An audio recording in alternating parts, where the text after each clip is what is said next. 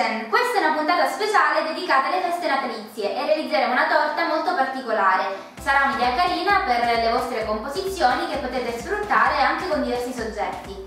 La torta di oggi è ispirata a una torta che a me piace tantissimo e che ho visto sul web, che è la torta Charmander. La realizzeremo in maniera un po' diversa e particolare per agevolarvi nel caso voleste riprodurla. Augurandovi di passare buone feste, cominciamo subito con la ricetta! Per la nostra torta di base, gli ingredienti di oggi sono 150 g di cioccolato fondente sminuzzato, 250 g di burro, 250 ml di latte intero, 100 g di cacao amaro in polvere, 2 uova grandi, una bustina di lievito per dolci, 350 g di zucchero semolato e 200 g di farina setacciata.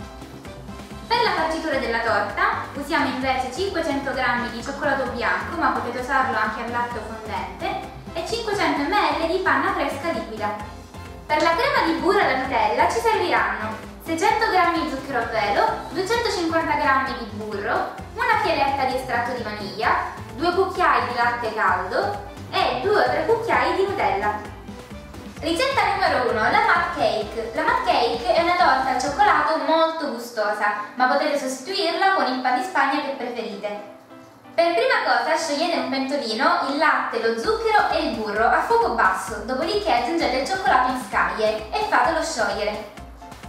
Una volta che tutto è stato sciolto, mettete in frigo e lasciate raffreddare per bene. Dopodiché aggiungete a questo composto la farina e il cacao poco alla volta, le uova.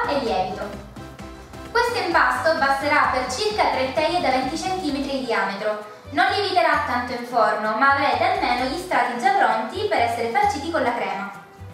Infornate adesso in forno preriscaldato per 25-30 minuti a 175-180 gradi. Ricetta numero 2. Ganache al cioccolato bianco. La ganache è semplicissima da preparare e buonissima. Mettete in un pentolino la panna e lasciatela bollire. Quando sta proprio arrivando all'ebollizione, aggiungete il cioccolato in scaglie, sciogliete per bene e mettete in frigo a riposare.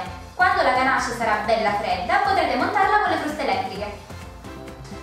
Ricetta numero 3. Crema di burro alla Nutella. Per fare questa crema di burro unite in una ciotola il burro e la vaniglia.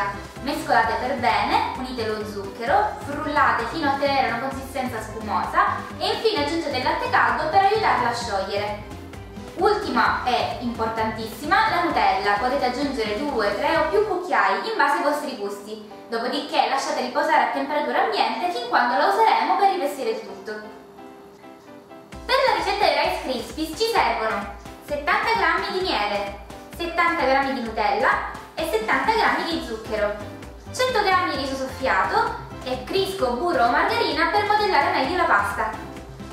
Quarta e ultima ricetta, perché oggi esageriamo, per realizzare questa buonissima pasta ai cereali mettete sul fuoco lo zucchero e il miele e fateli riscaldare insieme ma senza farli bollire. A questo punto aggiungete la Nutella in maniera che sia ben sciolta e amalgamate il tutto. Versate il composto di Nutella, miele e zucchero sui cereali e amalgamate per bene. Quando si sono raffreddati un po', metteteli sulla carta forno e modellateli. Per non farli appiccicare le mani, sporcatele con del crisco, del burro o della margarina. Una volta raffreddati, i Rice Krispies manterranno la forma che avete scelto. A questo punto possiamo modellare il Charmander che andrà sulla torta. Fatelo finché i Rice Krispies sono tiepidi, io per non sbagliare le dimensioni ho tracciato il diametro della mia teglia sulla carta forno.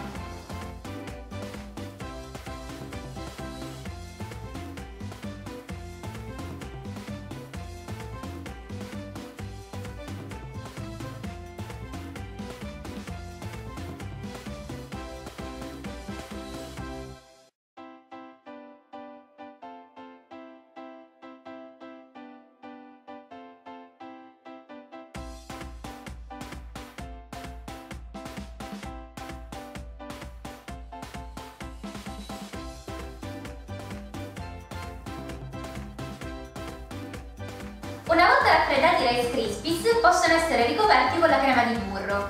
Quindi con una spatola o un coltello ricoprite per bene Charmander e poi mettetelo in frigo giusto il tempo di far rassodare la crema di burro. Dopodiché passeremo alla copertura in pasta di zucchero.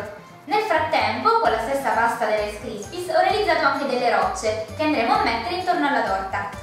Montate la torta, rivestite con la crema al burro, lasciatela raffreddare in frigo per un'oretta infine coprite il tutto con la pasta di zucchero.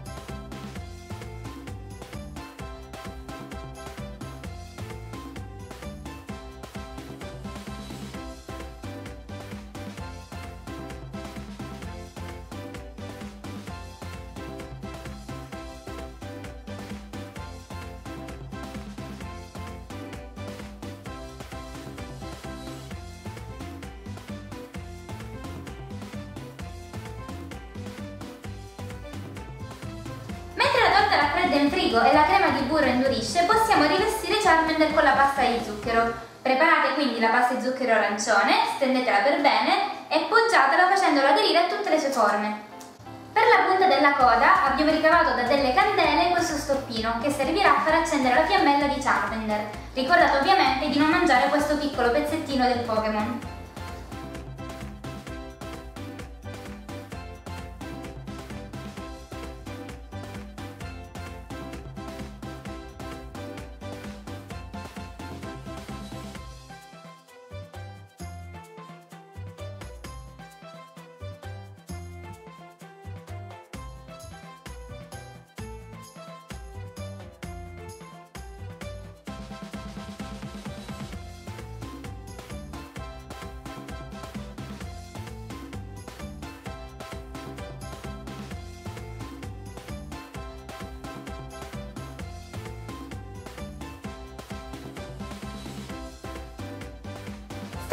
Per la torta, applichiamo le rocce alla nostra torta aiutandovi con un po' di Nutella. E rivestiamo con la pasta di zucchero grigia, dopodiché applichiamo Charmander in cima e la torta è finita.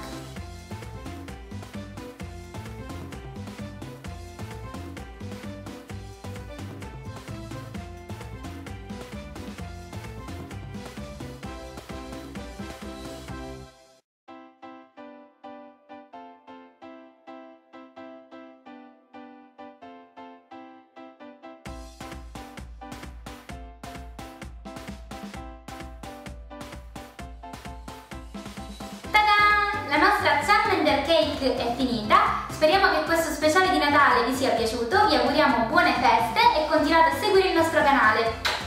A presto!